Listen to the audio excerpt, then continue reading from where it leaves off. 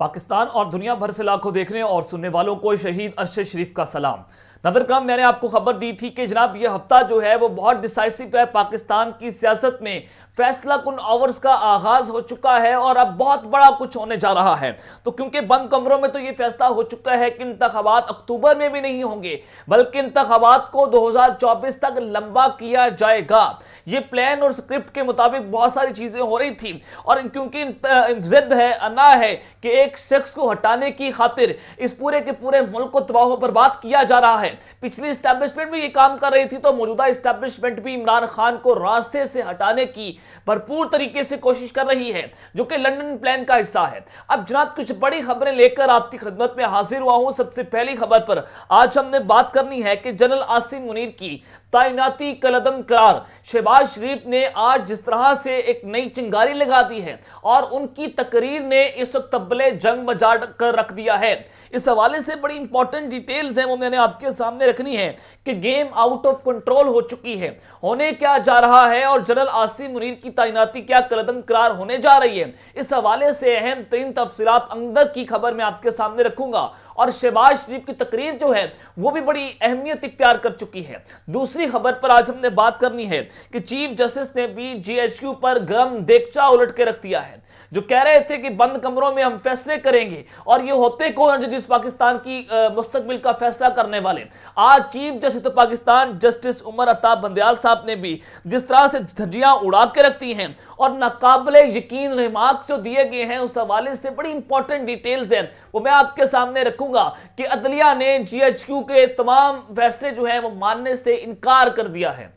तीसरी खबर पर हम बात करेंगे कि सुप्रीम कोर्ट से जो बड़ी खबर आई है और जिस तरह से आज सुप्रीम कोर्ट ने इमरान खान के हक में अपना फैसला सुना दिया, इलेक्शन कमीशन के फैसलों को उड़ा के रख दिया है वो भी बड़ी अहमियत इख्तियार कर चुका है कि इलेक्शन को किसी सूरत आगे नहीं किया जा सकता। इस हवाले से तमाम तफसीत आपके सामने रखूँगा, लेकिन अगर आपने चैनल को सब्सक्राइब नहीं किया, चैनल को लाजमी सब्सक्राइब कर लें बेलाइकन को दबा दें। आने वाली तमाम तरह अपडेट्स आपकी खदमत में बर वक्त पेश होती रहे।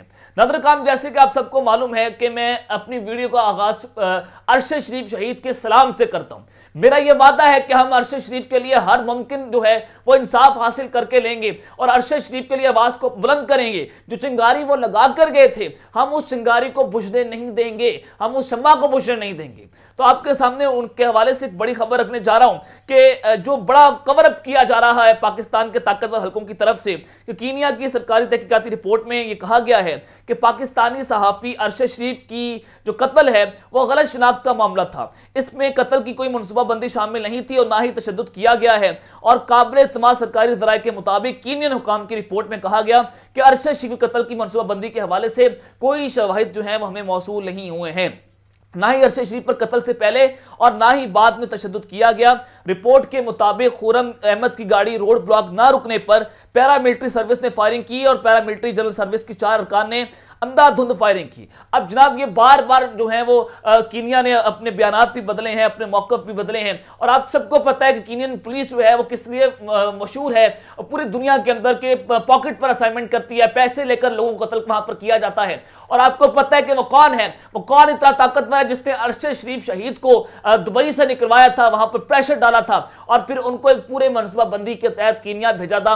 और वहाँ पर पूरी प्लानिंग के तहत अरशद शरीफ को कत्ल किया गया था। और वो कौन इतना ताकतवर है जिनके नाम अरशद शिव की बालदा ले रही हैं उनके ऊपर आज तक एफ़ आई आर दर्ज नहीं हो सकी। वो कौन इतना ताकतवर है जो वकला पर दबाव डाल रहा है वकला को धमकियाँ दे रहा है कि खबरदार आपने अरशद शरीफ शहीद का जो केस है उसको आपने टेकअप किया या उसके आप वकील बने। तो आपके सामने है कातिल कौन है और कातिल किस तरह से अपने सारे मामले को कवर अप करने की कोशिश कर रहे हैं? अब जनाब कुछ और खबरें हैं, वो भी वन बाय वन आपके सामने शेयर कर देता हूँ। नून लीग के सीनियर रहनमा और वज़ीर दफ़ा ख्वाजा आसिफ ने अपने एक बयान में कहा है कि ग्रैंड नेशनल डायलॉग हो तो तमाम स्टेक होल्डर्स शामिल होने चाहिए। उन्होंने मजीद ये बात की कि इलेक्शन व मुजाकर की पेशकश पर रद्दमल देते हुए कहा कि सबको बैठकर बात करनी चाहिए, नया इमरानी माहिदा सामने आना चाहिए। और उन्होंने मजीद कहा कि सिर्फ़ पार्लियामेंट नहीं, बल्कि पचहत्तर सालों में सिर्फ़ पार्लियामेंट स्टेक होल्डर्स नहीं रही, क्योंकि खुद खुशकिस्मती है या बदकिस्मती से मुल्क में बहुत से स्टेक होल्डर्स हैं। उनका इशारा किस जानी में आप बेहतर तौर पर जानते हैं कि स्टैब्लिशमेंट को कह रहे हैं कि वो भी इसमें स्टेक होल्डर हैं। और उन्होंने कहा कि नेशनल डायल होगा, तमाम स्टेक होल्डर शरीक होंगे, सबको बैठकर बात करनी चाहिए और नया इमरानी माहिदा जो है वो भी सामने आना चाहिए। जनाब उन्होंने एक स्टेटमेंट दी है और राना सलाउल्ला का भी सॉफ्टवेयर अपडेट हो गया है।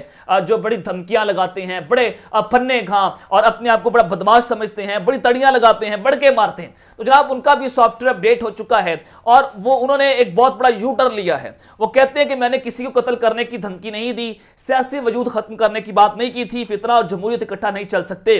अब जनाब ये वो शख्स हैं जिन्होंने इमरान खान को अमदा रिकॉर्ड टीवी पर बैठकर कत्ल करने की धमकियाँ दी। उन्होंने कहा कि जनाब, हम इमरान खान को रास्ते से हटाएँगे, चाहे जमहूरी अमल हो, चाहे गैर जमहूरी, चाहे असूली हो, चाहे गैर असूली।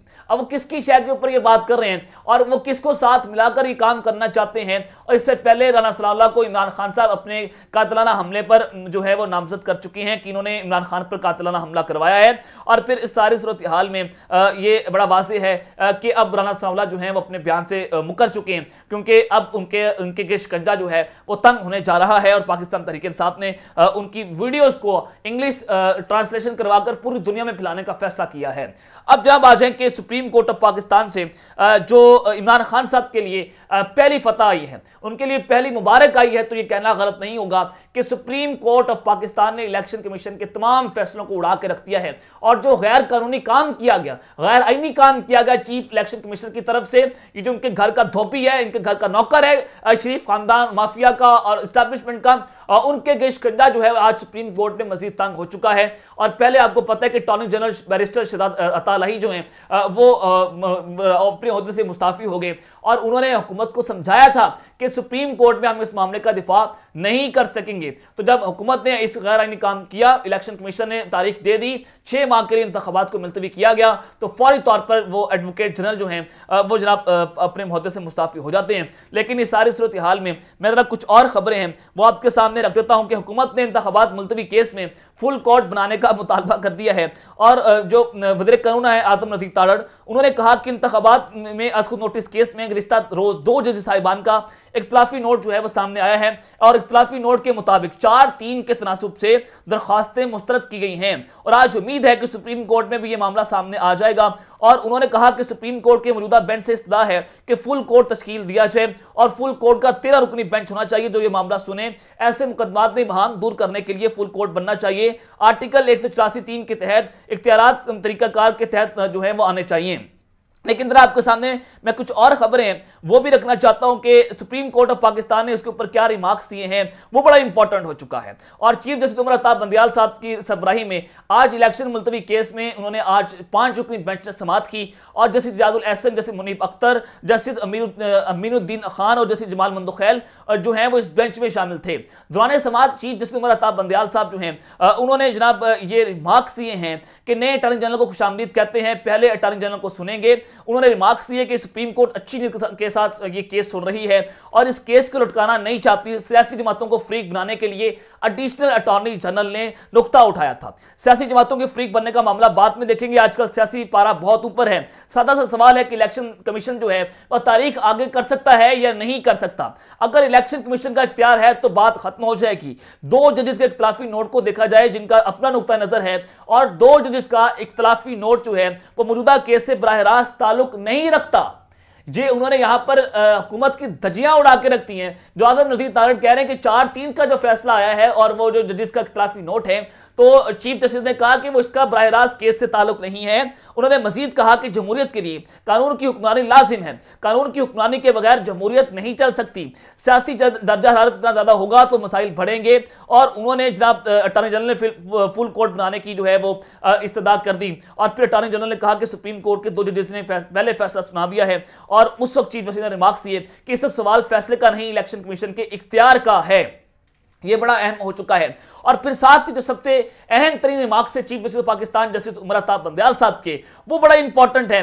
उन्होंने कहा है कि चीफ जस्टिस ने इंतबात के लिए तनख्वाहों में कटौती की तजवीज़ दे डाली है। और उन्होंने मजीद ये कहा है कि बीस अरब चाहिए। ये रकम इलेक्शन के मसले को हल करने के लिए कोई बड़ी रकम नहीं है। तनख्वाहों पर कट लगाएँ, लेकिन इस बड़े मसले को हल होना चाहिए।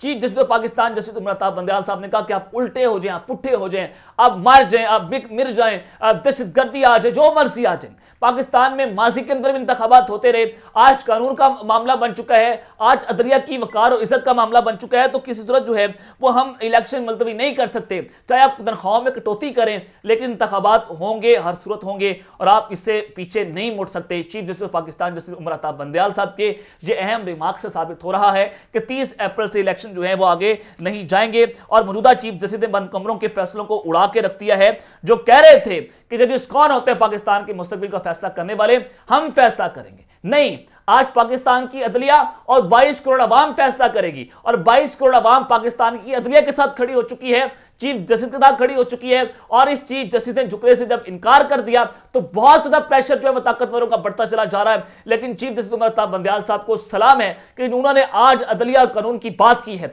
उन्होंने आज पाकिस्तान की बाईस करोड़ अवाम की ख्वाहिश की बात की है और बंद कमरों के फैसलों को जिस तरह से उड़ा के रख दिया है, वो उनके लिए जनाब मौत का समा है। जो समझ रहे थे कि इलेक्शन जो है, वो आठ अक्टूबर तक चले जाएँगे। और प्लान के मुताबिक भी यही है कि चीफ जस्टिस रिटायर होंगे और सदर की मदद मुलाजमत पूरी होगी तो इलेक्शन करवाएँगे अदरवाइज़ इलेक्शन नहीं करवाएँगे तो इलेक्शन जो है वो हर सौ तीस अप्रैल को होंगे। सुप्रीम कोर्ट ऑफ़ पाकिस्तान ने ये एक बहुत बड़े रिमार्क्स दिए हैं। तो जनाब एक और खबर है कि आज सुप्रीम कोर्ट में जीएचक्यू पर जो गर्म देचा उल्टा गया है वो भी बड़ा इंपॉर्टेंट हो चुका है। देखिए, फौज ने इलेक्शन के लिए सिक्योरिटी देने से मुहादरत कर दी। इलेक्शन कमीशन का इजलास होता है, वहाँ पर I S I I B तमाम कानून ऑफ़िस करने वाले इदारे हैं, वहाँ पर मौजूद होते हैं। और इन तमाम इदारों ने इलेक्शन कमीशन को कहा कि पाकिस्तान में दहशतगर्दी बहुत ज़्यादा बढ़ चुकी है तो लिहाजा पाकिस्तान में इलेक्शन नहीं होने चाहिए।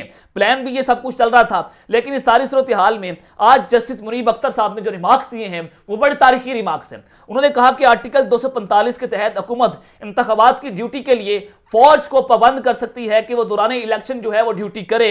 और फौज की सिक्योरिटी देने वाली बात मुझे समझ नहीं आती, क्योंकि आइन के तहत फौज ये का इदारा पाबंद है, उनकी ज़िम्मेदारी है कि इलेक्शन के दौरान ड्यूटी दी जाए। आप कौन होते हैं ये रुकने वाले कि हम ड्यूटी नहीं देंगे? पाकिस्तान के हालात बहुत ज़्यादा खराब हैं और उन्होंने मजीद कहा कि दहशतगर्दी के दौरान इंतबात भी हुए, पहले भी हुए तो उसकी सबसे ज़्यादा कीमत जो है वह सियासतदानों ने चुकाई थी तो लिहाजा अब भी इंतबात होंगे। ये बड़ा इंपॉर्टेंट हो चुका है कि आज सब पर अंदा फेरा गया है और सुप्रीम कोर्ट ऑफ़ पाकिस्तान ने झुकने से साफ़ साफ़ इनकार कर दिया है। लेकिन जनाब, एक और लड़ाई जो है वहाँ पर शुरू हुई है। शहबाज शरीफ की कौमी असम्बली में एक तकरीर है, उसने चिंगारी लगा के रखती है और नई आग भड़क उठी है। मैंने आपको बताया था कि इस वक्त पाकिस्तान के आर्मी चीफ को हुकूमत की जानब से ब्रीफ ये किया जा रहा है कि जब इमरान खान साहब आएँगे, वो वजर बनेंगे और बनते हुए नज़र आ रहे हैं। तो जब वो वजर बन गए इंतबात अगर हो गए पंजाब और के पी के में तो वो वफाक के अंदर भी जो है वो बासान जीत जाएँगे इलेक्शन को। तो जब वो आते ही आपकी तैनाती को कदम करार दे देंगे, वो एक पटिशन दायर करवाएँगे और उस पटिशन के तहत आपकी तैनाती को गैर कानूनी करार देकर नया आर्मी चीफ अपनी पसंद का इमरान खान साहब अपॉइंट करेंगे। ये खबर मैंने आपको दी थी और इस खबर की कितनी सदाकत है, आज शहबाज शरीफ साहब ने कौमी असम्बली में एक खताब किया है। उन्होंने कहा कि आर्मी चीफ की तैनाती सौ फ़ीसद मेरिट पर है और जनरल आसिम मरीज़ जो है, वो हाफिज कुरान भी हैं।